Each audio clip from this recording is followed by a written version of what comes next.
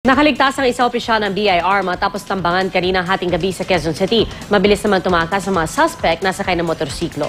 Balita hatid ni Athena Imperial.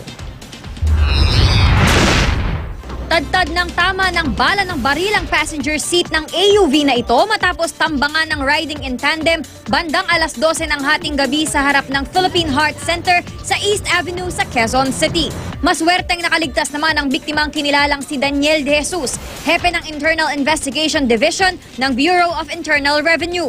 Di bababa sa 10 ang tama ng AUV mula sa kalibre 45 baril. Isang lalaki naman na nooy nasa harap ng Philippine Heart Center ang nakasaksi pa sa insidente.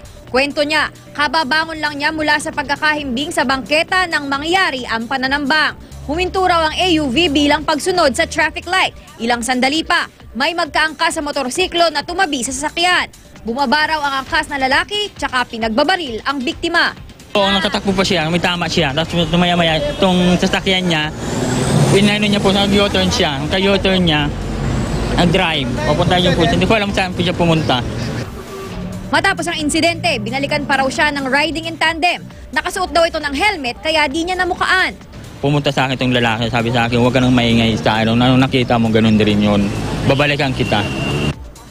Ang biktima, maswerteng naipasok pa ang kanyang sasakyan sa loob mismo ng Heart Center at kalaunay inilipat sa East Avenue Medical Center. Sa ngayon ay maayos na ang kondisyon ni De Jesus. Ang otoridad, patuloy ang ginagawang investigasyon. Kakausapin pa raw nila ang biktima para alamin ang posibleng motibo sa krimen.